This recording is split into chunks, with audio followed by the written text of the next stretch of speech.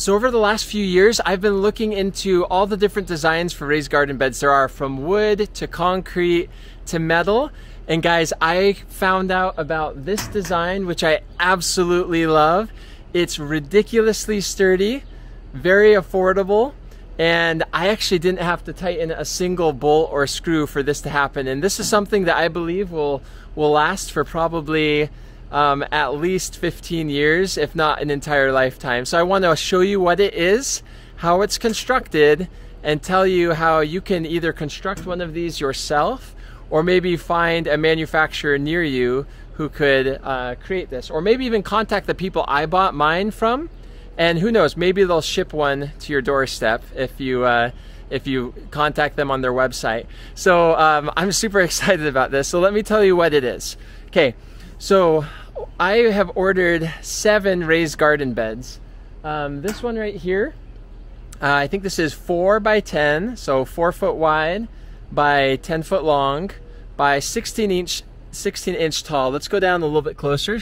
So these are two steel painted brown um, metal purlins. This metal is 14 gauge. If I squeeze it with all my might, it does not budge at all. So this lip right here is very, very sturdy. I cannot budge that at all. There, there's no way. It's uh, this is 14 gauge steel, extremely, extremely strong. Let me just demonstrate for you how strong it is.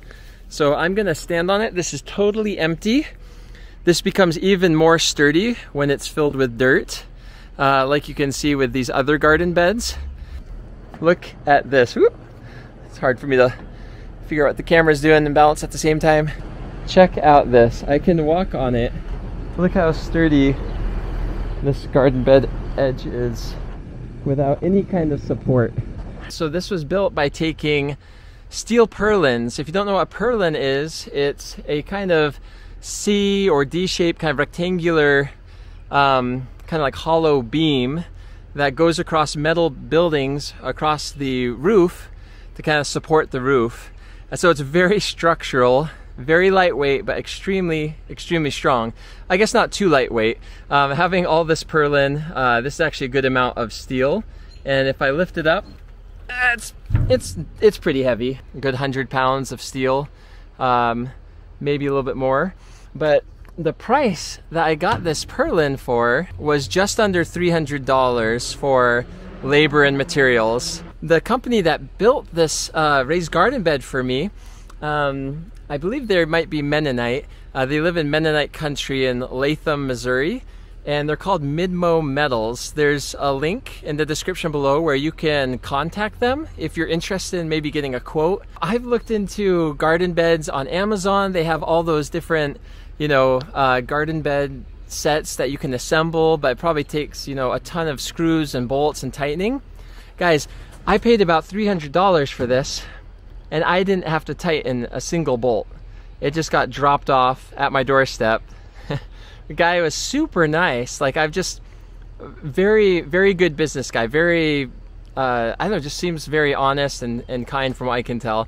I, I like doing business with them. Now this bottom brace uh, was actually not necessary, especially going only 10 feet. Um, but this bottom brace is very, very sturdy. I did that just because over the, the years that we have this filled with dirt, I don't want the edges to bow outwards. But honestly, this is so sturdy, I don't think it would bow outwards. And I want to show you what it kind of looks like here. So here you can see we planted some uh, some peppers here and over here we've got some some tomatoes. These things they just look so nice and they're painted brown so they kind of have a natural kind of wood-like feel. Um, now let me show you what happened over here. So over here on this raised garden bed, I don't know if you can see how there's a small dent there.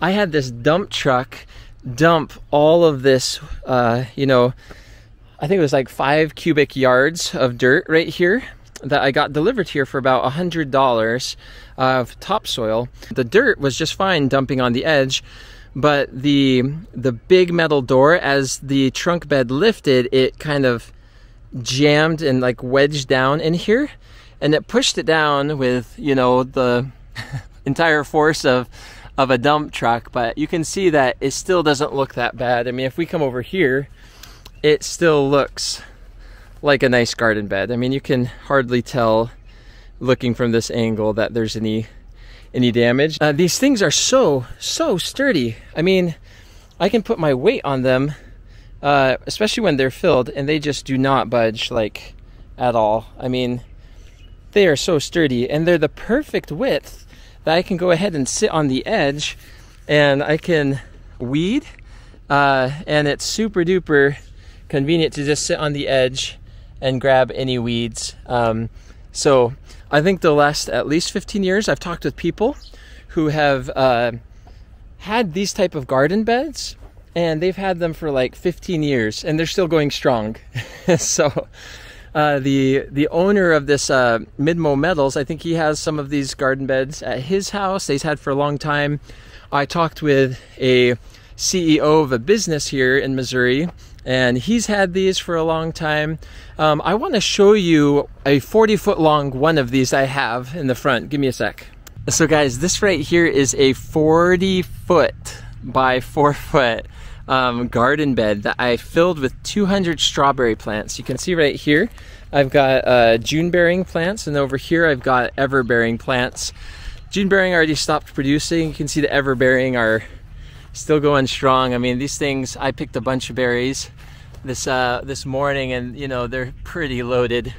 And I only planted these about maybe two months ago, but this garden bed is massive.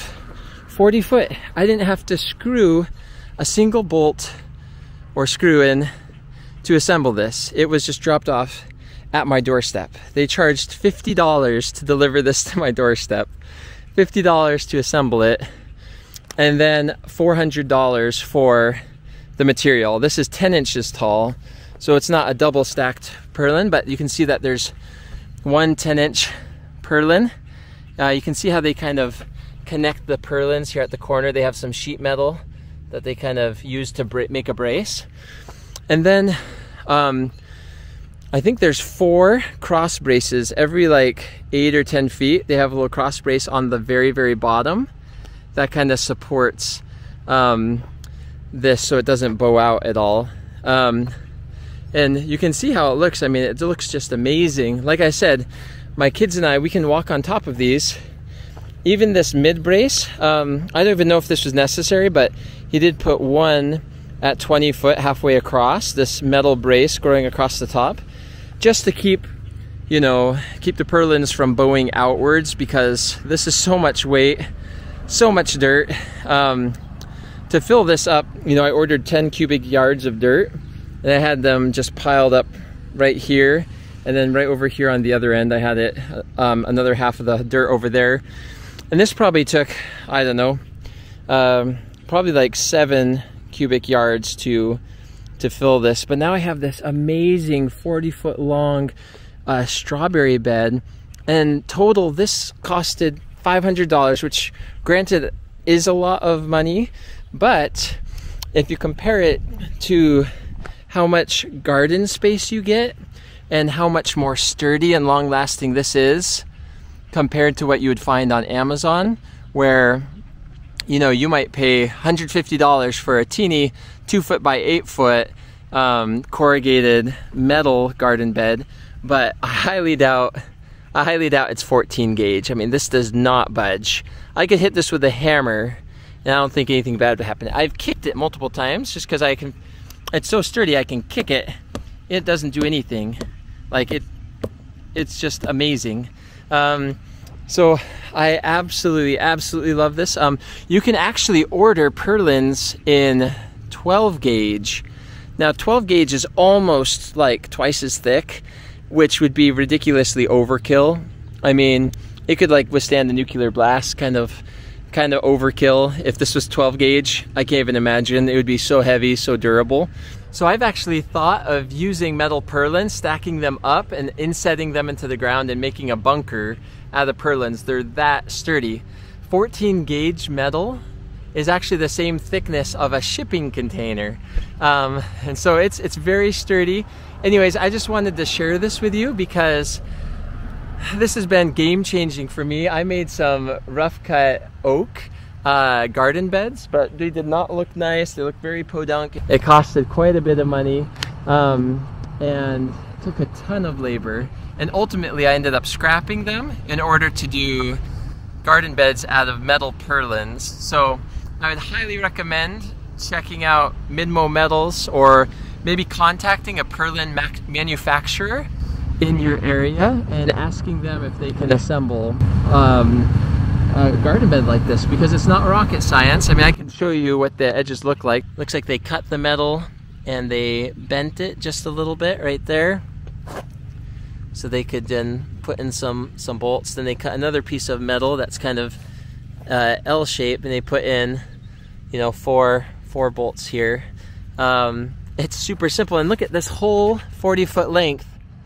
That's one solid piece of metal. and it's super strong and looks amazing. Anyways, if this video has been helpful for you, uh, feel free to subscribe. I'm hoping in the next few months to share a bunch of more update videos. It's been a long time since I've shared uh, some homesteading videos and I'm excited to share with you some of the things I learned. Anyway, thanks so much. Hope you have a good day. Bye-bye.